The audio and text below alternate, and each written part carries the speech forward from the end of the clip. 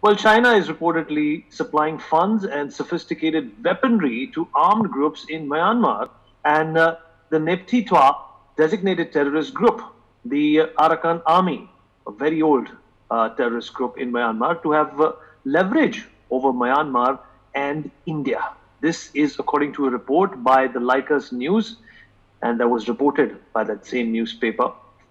A military source with experience in Southeast Asia confirmed that China is providing approximately 95% of Arakan Army funding. He further revealed that the Arakan Army has approximately 50 of the man portable air defense systems and surface to air missiles. Now, that is not a joke. Those are sophisticated weapons, and that is sophisticated weaponry. Why is China doing that? It's got proxies. It's also showing aggression at the LAC.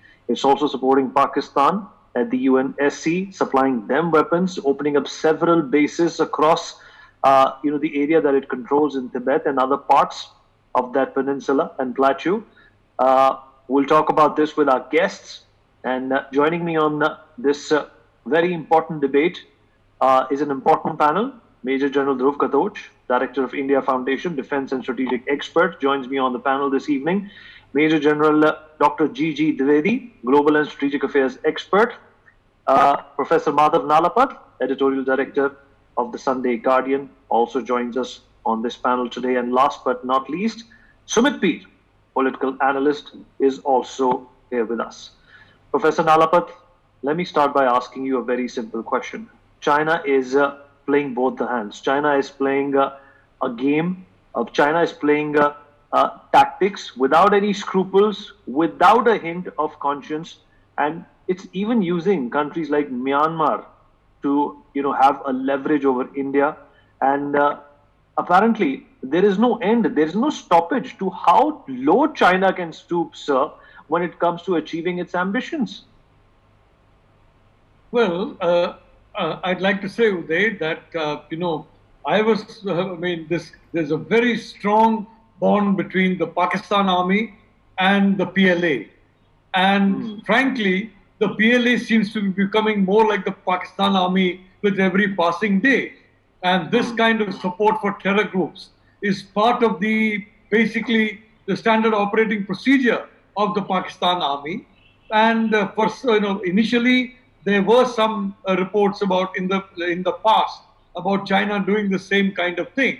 But uh, later on, uh, I think the, the Chinese cleaned up their act. So it's very distressing to, to find out from these reports that uh, the whole thing is being again revived, and that is support to this kind of terror groups. Whatever benefit China is getting, frankly, will be nothing compared to the costs of being discovered as, uh, as, a, as a country uh, that to a permanent member of the UN Security Council who is uh, mm. funding terror groups. So, what is important, Vineet, as much information as possible needs to be collected about this. Uh, and I think Myanmar and India need to quietly cooperate on this. As much information as possible needs to be collected so that this information can then be, be released uh, to the Chinese and to other members of the UN Security Council. Because this is absolutely unacceptable behavior if they are really supporting terror groups operating in Myanmar and India it's completely unacceptable and completely. I mean, it's it's. I mean, it's very hard to imagine how a permanent member of the UN Security Council would do such a thing. Mm. Absolutely, General Katoch, a permanent member of the UN Security Council is indulging in these, uh, you know, below the belt, if I can call them activities. You know, the Arakan Army is uh, the largest terrorist group in the Rakhine state of Ma- Myanmar, and uh, it is the armed wing of one of their political parties, which is called the ULA. From what uh, we have seen in Nepal, that China has almost penetrated all of their schools as well. Perhaps they want to turn them into some sort of Chinese madrasas. Now we're getting to know that after 2019, when the cache of arms was seized in this uh, particular country of Myanmar, they were all Chinese. Uh, what is China coming to? What kind of designs are being exposed on a regular basis, sir, and how worried not only India, but the world should be. No, I think once again, this is a very serious matter of concern. You see, the way I've looked at it is, it is not the first time China is doing this. In the 70s, they supported uh, terrorist activities in India's northeastern states. Now, what has happened recently, the way I look at it is that, uh, you know, when sanctions were imposed by the West on Myanmar, they moved very close to China. Now, when those sanctions were lifted and uh, uh, Daw Aung San Suu Kyi came back into power, um, uh, her party came back into power, then when those sanctions started getting lifted, the proximity of the uh, government of Myanmar to China reduced. Now, that caused a bit of concern to them. But then again, we had the Rohingya crisis, and again, the West started imposing a bit of sanctions. Now, the problem is that if you start imposing sanctions on Myanmar, they have to, the only country which can really support them is China. Now, when China starts losing that support and they want to keep that support, they have actually uh, raked up this problem in, uh, in, uh, in the Rakhine state uh, uh, with the Arakan army. Now, the question is the Arakan army is not really uh, designed to fight against India. It is designed to fight against the Myanmaris, the Myanmar uh, army and the Myanmarese government. As far as India is concerned, the terrorist groups which are operating there, they come in from the north. That is why there's Sagaing, uh, Sagaing uh, uh, province uh, to the north of Myanmar. And from there, they move into China. And China actually used to train them. I presume some of our groups are still, like from the ULFA, they are still being kept there. Whether they're being trained or not, we don't know. But those are the groups which, which China uses uh, or can potentially use against India, and they will move in via the via the Myanmar border from the north um, to uh, Nagaland, Manipur, and uh, Arunachal. Now, when we come to Mizoram, they are bordering the Chin state, so there's no problem there really. Uh, the Chins have got a different problem and nothing related with us. Um, so what China is really trying to do is to create disturbances in Myanmar and I think the basic purpose is to keep Myanmar in the lap of uh, the government, uh, in, in, in, China's lap. Recently, a lot of bonhomie has been established between the Indian army and the Myanmaris.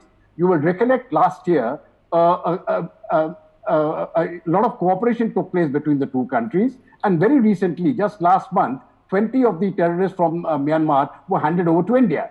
Now, China is getting worried that if India gets in closer to Myanmar, they will lose further influence. And I think they're using terror now as a tactics to keep uh, Myanmar uh, confined to the China's sphere of influence.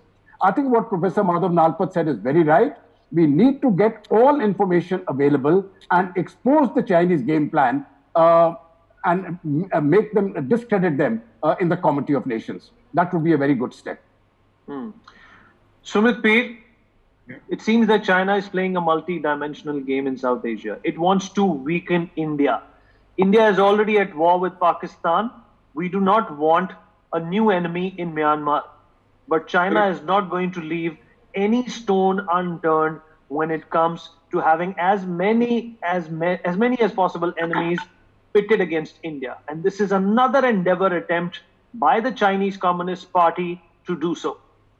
Uh, Vineet, uh, first of all, thank you very much for having me on your show. Uh, there are four dimensions to this problem: political, economic, and you know, military and other front. First, let's talk about AA. We need to tell them today AA will be completely wrong. They are no army today. They are the mercenary force of PLA. Because if you're getting 95% of your funding and weapons from PLA, you work for PLA. So there's nothing called AA or what they used to be. They were formed 10 years back. But there are few disturbing facts about them, Vineet. They are the strongest armed militia in whole of South Asia now. 8,000 men armed with the kind of weaponry which you talked about. And there is another uh, disturbing fact about them that their strength is increasing by the day. Very recently, Vineet, I was reading uh, some media bites around that, and you know, I was tracking, I tracked that media as well. Around 11th of May, paratroopers from Myanmar army tried to get into their territory and dismantle them. A full battalion almost was sent with air power and others. Unfortunately, you can imagine the power this group has got, you know, acquired from China now. They lost 20 of their men and 36 of their men were captive, including the commanding officer of the Myanmar paratroopers, who are again very well, very well versed with the jungle warfare. So you can imagine the kind of things which are brewed in that region. Now, what does China get out of it? We need AA or the Chinese PLA mercenary force, whatever you want to call it, is active in the west of Myanmar. West of the Myanmar is which exactly borders India. So they want to create a buffer zone in between the Myanmar and India. And this AA or their mercenary force wants to control that. So that is exactly the aim. So you, if you join the dots, Ladakh, then you come to Nepal, then you come to Bangladesh, then you come to Kartarpur corridor, then from Kartarpur you will land up to Myanmar. Then you know what was happening in ports with Bangladesh, you know ports in Sri Lanka, then you know ports in Maldives. That story is all known. So that string of pearls you can really see beautifully shaping up and what China is doing. Now there is one more story to it. China has huge economic interest in that area because the copper mining in that country is entirely controlled by China. So the copper of Myanmar is used to fund the people or the militia of PLA against the Myanmar and also help them to create problems in India. So this is what is happening you know, within the Chinese. Now, why are Chinese doing it? It's very simple. We need in communism, violence is an accepted statecraft. Communism allows you to do use violent ways. So now the only news which has which have broken on the national TV is that the People's Republic of China is now funding mercenaries, international mercenaries. This is a big, big news because forget what PLA is doing, forget PLA works for CCP as their private army, but they are funding hardcore terrorist groups. And the government of Myanmar has declared them a hardcore terrorist group. They are no goddamn army. They are a bunch of terrorists funded and run by China. So this is a very disturbing news. And the facts which I gave you about them, so there's economic interest, there's a political interest, there's a military interest. It is becoming a problem for us. We as India have to wake up to this I am sure we are doing what we need to do, but we have to take it strong, very seriously. We need because the kind of weapons now they have and the kind of damage they could inflict to the paratroopers of Myanmar army is an eye opener. It happened on 10th or 11th March, just two months back. So I don't know how much of it is out in the media, but this is a very startling claim. And you know what is uh, very astonishing, Vineet? Myanmar government doesn't accept accept it, but this AA, so-called AA, has given the names designations and titles of the people killed and captured in the open media, and Myanmar army has not, or the government of Myanmar has not denied it. So it's a, it's a very strong security threat for us. Let us not be, you know, naive. It is funded, aided, abated by China. It is the design of China. This is the design of PLA, and what professors have rightly said. Now it is very, uh, you know, it is very astonishing. They are fighting. They are now funding international militia mercenaries. You know, hmm how low can you go? And they Absolutely. assume how to be the superpower. How they assume to be the superpower. They assume General, to be the superpower. Yeah, General Dwivedi, you seem to have a connection. We spoke earlier. You have a connection with the country of Myanmar, and it is unusual for them, you know, to point fingers at China. But this isn't the first time that uh, you know the government of Myanmar has uh, put out a Chinese connection, and for you know, a, a, permanent member of the UN Security Council to be indulging and operating in such a way is absolutely alarming. But Beijing has denied it, and uh, you know they're not giving these weapons away for free. Let's also talk about that. They're taking money from these terrorists. It's not that they're giving them for free. You know, the China doesn't do anything for anybody for free, even terrorists. Well, Vineet, uh, you're right. I have uh, my family ties with Myanmar. And I look at this uh, country very closely from uh, both as a professional and also with certain amount of uh, sentiments. Well, I like to give you three dimensions because it's not as simple as it appears to be. The issue is very complex. First and foremost, please understand that China has a South Asia policy. South Asia policy is basically to ring around India and to reduce India's strategic space and also impinge upon our relationship with the neighbors and weaken India in process. So Myanmar also fits into the larger design. Now you look at uh, what China is doing in Myanmar. I'll give you one side. That is, the Chinese have very deep-rooted relationship with Myanmar at the political, economic, and military ties. Let me take economically. There is a China-Myanmar economic corridor which starts from Kunming comes to Mandalay, then one you know arm goes to you know Yangon, another to Kyaukphyu where they are making a port so that they have access to Bay Bengal. They are also making 420 kilometer railway line. Now, when they are investing 10 billion dollars, they have a very high economic stakes. Secondly, Myanmar army, 60% of the equipment comes from China. Now, why is Myanmar doing what it is doing, trying to arm the Arakan army? Now, that is a moot question. Why they're doing it? They have reasons. One is that you know, Myanmar must continue to be dependent upon China and not should be so strong And you know, after this uh, Arakan army was raised in 2009, and when I was uh, commanding a division in Northeast, we had the border with Myanmar. And there's a fair amount of interplay between the R, you know, insurgent groups and the Myanmaris, especially UNLF, PLA, uh, NSC and INK. They have even bases right across the Myanmar border. So wherever we put pressure, they went inside. So that is one collusion that is there between the armed groups. And the second point is that Chinese have been arming these, you are right, they have been funding these groups through the Thailand and there is a, you know, a kind of a mafia that is working. In nutshell, Chinese are playing two games. One with the government, they have fair amount of stakes. Secondly, at the same time, they want to weaken the government through the terrorist groups. And this has security implications for India because these terrorist groups have, as I said, fair amount of interplay with Indian groups, and in turn, they can take, they can indulge in certain activities which can be very, very injurious to our national security. So therefore, we need to cooperate with the Myanmar army and ensure that this spillover is not there. And we have carried out certain operations along with Myanmar army against the groups, and that must continue. Right, Professor Nalapat, do you think that uh, this is all part of a big plan by Xi Jinping, and it's an elaborate exercise by him to keep its smaller neighbors in and around China unstable.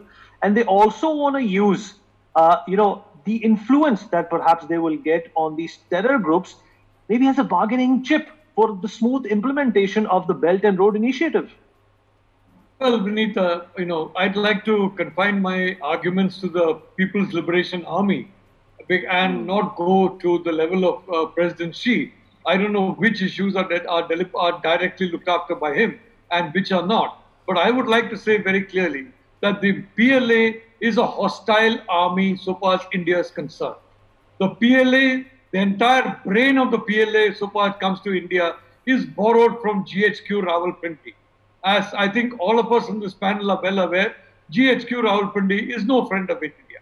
And they have transplanted that negative opinion about India into the mind of the PLA. Now, in my view, the purpose behind the, this kind of pressure on Myanmar is to see that India, Myanmar does not facilitate India reaching out, for example, through land, through rail to ASEAN, except through a link where China also is, uh, is actually predominant. You know, if you have a Chinese link and India uses that link, all right, but otherwise, no. India should not be allowed by Myanmar to use any such link. So I think that is one particular uh, you know, strategic reason why they may be ensuring that the Myanmaris are kept off balance. It's very important, as the general said, that uh, the, both the generals, that we must have good relations with the Myanmar army. And the reality is that we are facing the same security threats. Uh, uh, uh both Myanmar and India are facing the same security threats. So I want to say again one more thing. Frankly, in my view, the investment that China is making in Pakistan, Pakistan is going to become the Afghanistan of China. What Afghanistan was to the Soviet Union and frankly to the United States, a bottomless pit of pouring money and resources. I think Pakistan is going to be the Afghanistan of China. But one thing is very clear. If this is true, that the, that the Arakan army is being fed by the, by the Chinese side. It's obviously the PLA, and it adds even more weight to what Prime Minister Modi did of banning those 59 apps. I was very sorry to see a lot of people coming against that decision. And a lot of people saying, look, we are making 10 rupees here, we are making 15 rupees here, oh, I'm making even a thousand rupees here. So how can I lose my thousand rupees? For heaven's sake, it's a question of losing your independence, your freedom, and your security. And forget about your thousand rupees or forget about a even a much bigger sum of money. So it's very, if this is, if this is true, then I would like to say there is a strong case for a complete delinking from China of the entire technological space. Other countries have begun that process, and in our case, a lot of arguments are going on because there are several vested interests. And it's not only, you know, among businessmen. There are people in politics, people in, in, in and I'm not just talking about in every party, frankly, there will be people. And they are saying a big hullabaloo in private. But I can say the Prime Minister did absolutely the right thing. And I think that 59 apps being banned is the biggest shock that China has received after the shock that was received on the 15th of June when our brave soldiers showed them what the Indian Jawan is capable of. Absolutely, absolutely. Very well articulated, Professor Nalapat. General Katoch, China's uh, sympathetic stance towards uh, you know terrorists and people who support terrorists cannot be nudged away. It cannot be ignored. We have seen what they have done uh, for terrorists who have been living in Pakistan for a very long time. They have in fact uh, refused to accept them as terrorists or enemies of the state, especially for India. Uh, you know, if they are supporting these terrorists in Myanmar, there's nothing to surprise you there. China does not have any lines that it can draw when it comes to what they should do or they shouldn't do in achieving their ambitions. No, I think it's been no surprise at all because let's face it, what has China been doing for the past three decades? They have directly been supporting a terrorist state.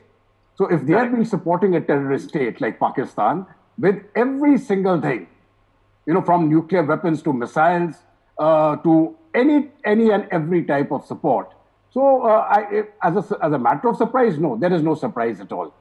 Uh, the, the, the point is, as far as Myanmar is concerned, I think Myanmaris know which way, what they should do. But they, are, they also have their limited compulsions. Now, when I was, I've served in Mizoram for two years, and uh, that was 2000, 2000, uh, 2001, 2002. And that time I had very extensive contact along, along the uh, uh, border with Myanmar. That was the Chin state. Now, you see, the problem which is really there is, as far as the Myanmarese army is concerned, they really don't have the capacity to uh, man that border the way they should. It is just not humanly possible for them based on the strength of the army and their own capacity. So we had the insurgents, uh, uh, the Indian terrorist groups, actually making posts there. Now, to a very large extent, those posts used to be existing both in Bangladesh and in Myanmar. Uh, Bangladesh has been resolved to a very large extent, and the Myanmaris are also uh, uh, in very close cooperation with the Indian army and with the Indian establishment. But the question is, mm. if you know, when the, the, way China, China has got direct access to Myanmar, they've got a huge land border, and uh, they, have, they the plains from there. You see, uh, in India, we've got the hill sector out there. They, they've got the ridge lines as such that it facilitates movement. So, yeah. Okay. So the question, uh, yeah. So the question is, I think that uh, we need to be very, very, uh, very, very clear about what we need to do. As Professor Nalapat and the others have said, and uh, I'm quite certain that the Indian establishment is looking into this very, very seriously. All right. The Indian establishment uh, ought to be looking at this very, very seriously. Not only the Indian establishment, but uh, the world at large needs to put their focus and uh, make sure that the kind of uh, uh, acceleration that China is showing in terms of its territorial ambitions is checked from all nooks and corners. For more such videos, subscribe to the NewsX YouTube channel, hit the bell icon.